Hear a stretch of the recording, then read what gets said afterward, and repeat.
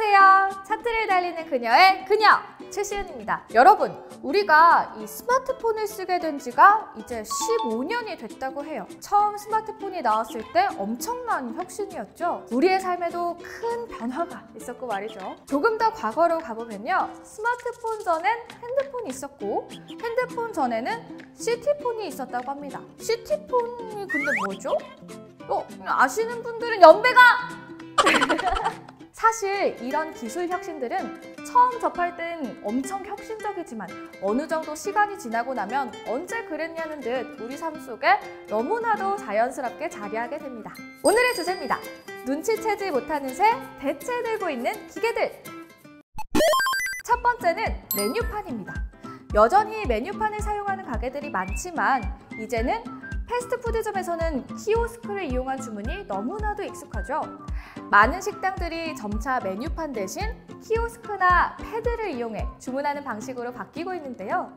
이러다가 어느 날 갑자기 가게 테이블 위에 메뉴판이 사라져도 아무도 눈치를 못 챌 것 같아요. 미래에 태어날 아이들은 메뉴판이라는 단어 대신에 메뉴 화면, 메뉴 패드라는 말을 더 많이 쓰게 되지 않을까요? 두 번째는 자동차 엔진입니다. 자동차 엔진이 없다고? 이게 무슨 소리야? 하고 생각드는 분들 있으시죠? 내연기관차에서 전기차 시대로 넘어가면서 바뀌게 된 자동차 부품에 대한 이야기인데요. 잘 알려져 있듯이 전기차는 엔진이 사라지고 대신 모터가 차를 움직이게 됩니다. 이에 따라 기존 내연기관에서 속도를 조절해주던 변속기 역시 다른 부품으로 대체되는데요. 바로 감속기입니다. 감속기라고 부른 데에는 이유가 있습니다. 모터는 엔진보다 분당 회전수가 훨씬 높아서 회전수를 상황에 맞게 바꾸는 변속이 아닌 회전수를 낮추는 감속만 필요하기 때문인데요. 현대 트랙시스도 이에 발맞춰 단연간의 변속기 개발 노하우를 전기차용 감속기를 만드는 데 쏟아붓고 있습니다. 그래도 헷갈리신다고요? 그렇다면 외워보세요. 엔진은 변속기, 모터엔 감속기. 세 번째는 유선 이어폰입니다. 원래 무선 이어폰은 음질도 좋지 않고 배터리도 오래가지 않아서 택시기사님들 정도만 애용하는 것으로 인식됐었죠. 하지만 이제는 기술 발전을 거듭해 유선 이어폰에 버금가는 훌륭한 음질의 빵빵한 배터리 용량까지 갖췄습니다. 오히려 이제는 유선 이어폰을 쓰는 사람을 보기가 더 찾기 쉽지 않은 것 같아요. 제 책상 서랍에도 칭칭 엉켜있는 유선 이어폰만 해도 지금 몇 개인지 모르겠네요.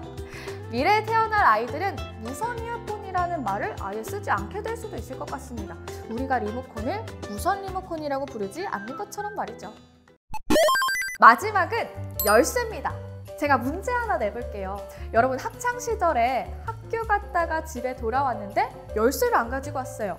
집엔 또 엄마가 안 계시고요. 그럼 열쇠는 어디 있을까요? 당연하죠. 바로 화분 밑에 있습니다. 자동차 키, 집 열쇠, 또 사물함 키등 학창 시절부터 우리는 항상 열쇠고리를 가지고 다녔습니다. 하지만 언제부턴가 우리의 주머니가 가벼워지기 시작했죠. 집집마다 달린 번호키에 지문인식, 또 홍채인식까지 보안을 위한 너무나도 많은 최신 기술들이 생겨났기에 열쇠가 점점 사라져가는 것이 당연하겠죠. 하지만 가끔은 잃어버리지 않기 위해 소중히 다뤘던 추억 속의 은색 열쇠가 그리워지기도 하네요. 오늘은 눈치채지 못하는 새 대체된 기계들을 주제로 차트를 달려봤습니다. 이 밖에도 제가 생각하지 못한 것이 있다면 댓글로 남겨주세요. 그럼 다음 시간에 만나요. 안녕! 오늘 영상이 재미있으셨다면 구독과 좋아요 꾹꾹 눌러주세요.